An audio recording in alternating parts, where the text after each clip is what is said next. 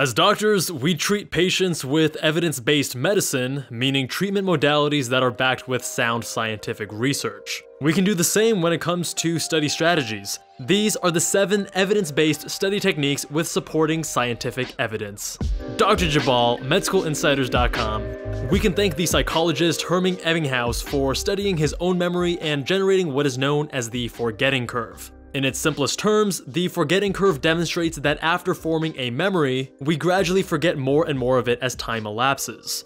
With attempts to retain the information at increasing intervals just before we forget it, the memory becomes more durable. We know from neuroscience fundamentals that repetition potentiates neural connections and allows us to remember information more effectively. The problem is that we have far too much information to learn. We can't repeat every fact we need to know on a daily basis. Enter the spacing effect. By repeated exposures to a piece of information at increasing intervals between each repetition, we can optimize memorization and retain the most information in the least amount of time. Spaced repetition is most powerful when the timing is just right. If too little time elapses between repetitions, the information is not reinforced as strongly. If too much time passes, you forget and are unable to recall the desired information. If we see the same information multiple times over increasing intervals, we'll be far more effective at encoding those facts into long-term memory. This is why cramming is so ineffective. Studying for 8 hours over 2 weeks will generally result in superior performance compared to studying for 8 hours in one sitting.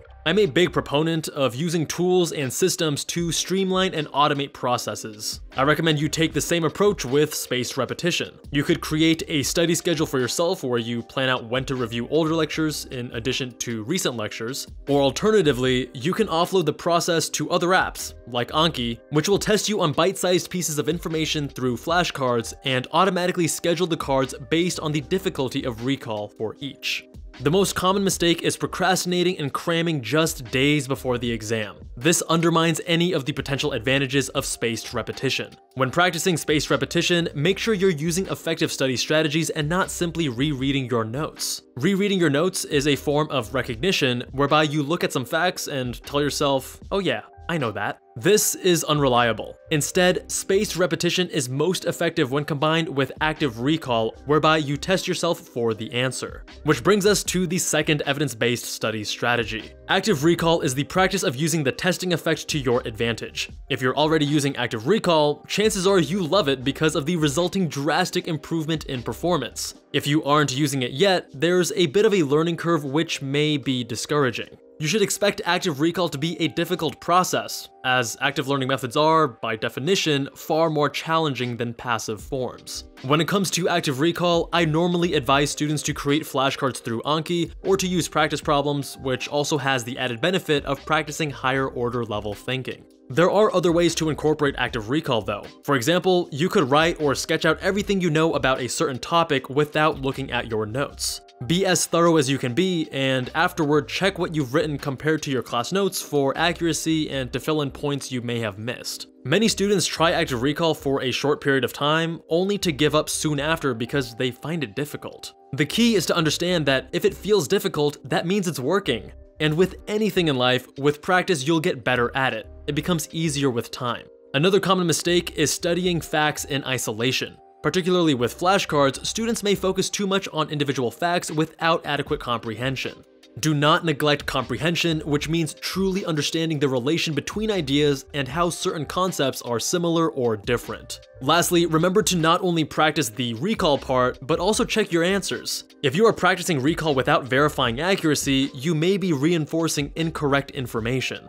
Closely intertwined with active recall is the concept of desirable difficulties. This states that a learning task that requires a considerable amount of effort will improve long-term performance, even though it may slow down learning initially. Research demonstrates that the traditional easy forms of passive learning show better temporary performance effects, but more difficult tasks, such as learning with active recall, result in improved performance in the long term.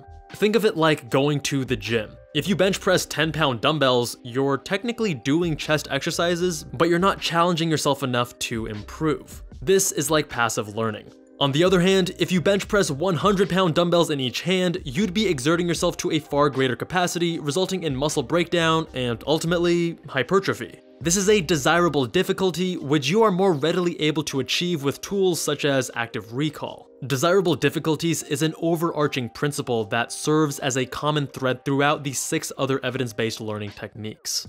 Elaboration refers to further describing and explaining various ideas or concepts that you are studying to solidify your understanding of the material. The concept of elaboration sounds great, but the tricky part is how to effectively implement the technique. Here are a few suggestions. First, generate questions for yourself about how various concepts or principles work and the underlying reasons as to why. Try answering on your own first, and then turn to your class materials or study buddies for verification and further explanation. Second, cross-reference different ideas even if your professor or class materials didn't explicitly do so. By comparing and contrasting relatable components, you'll better understand the nuances of each, how they interplay, and you'll be less likely to confuse the two. And third, make the content relatable. While elaborating on a concept, relate it to your own life experiences or memories for a stronger memory anchor. Integrating new material with concepts you already know helps you organize the new ideas, thus facilitating recall in the future, such as on test day. Don't be overzealous with your elaboration, meaning keep it within the scope of what is accurate and reasonable. Overextension of elaboration can actually cause further confusion in the long run. Practicing elaboration with small groups, such as with the Feynman technique, can be helpful, but beyond three people, the drawbacks begin to outweigh the benefits.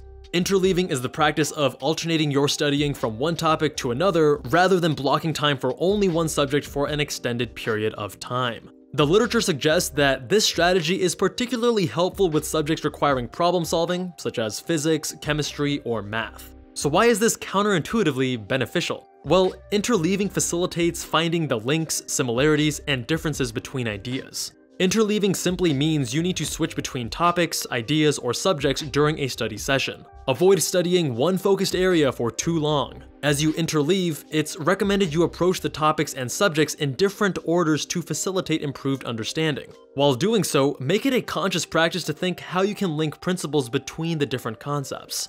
The added benefit that often goes overlooked is one of sustained endurance. When you are strategically shifting between topics, you can ward off burnout and boredom through novel stimuli.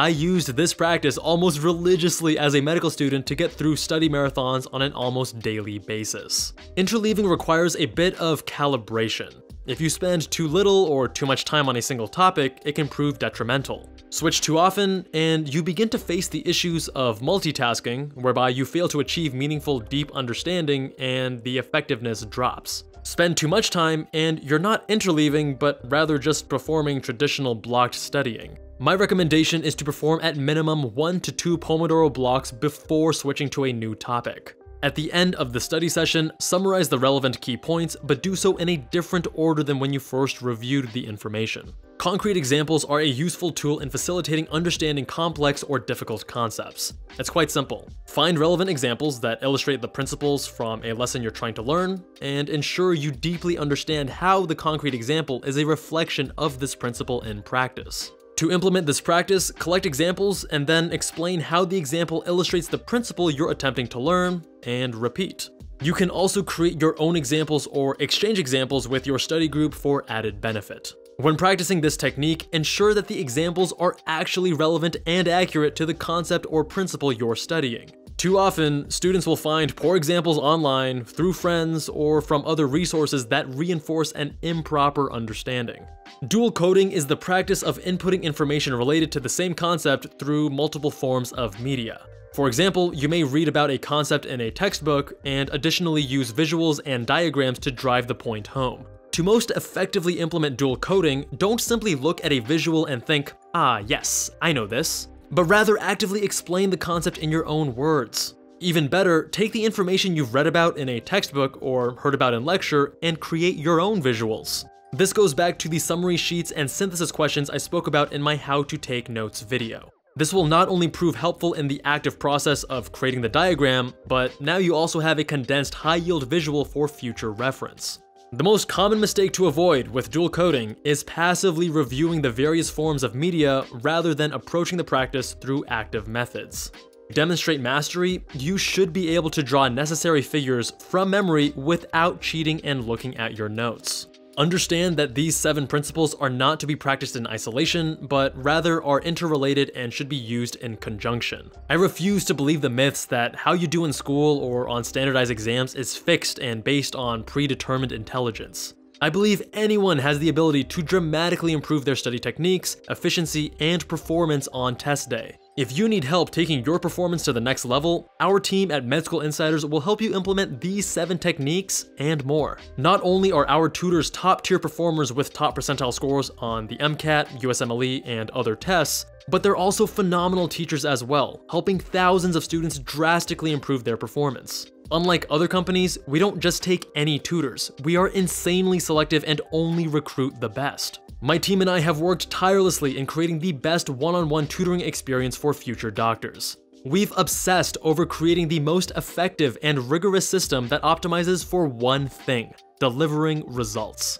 If you want to crush your MCAT, USMLE, or need help doing better in any class, from organic chemistry or physics to cardiology or surgery, and everything between, our team has got your back. Visit medschoolinsiders.com to learn more. Out of these seven evidence-based study techniques, which ones are you neglecting and going to practice moving forward? Let me know with a comment down below. If you liked this video, please give us a thumbs up to keep the YouTube gods happy. To see more content like this every Saturday at 8 a.m., make sure you're subscribed with the notification bell enabled. Much love to you all, and I will see you guys in that next one.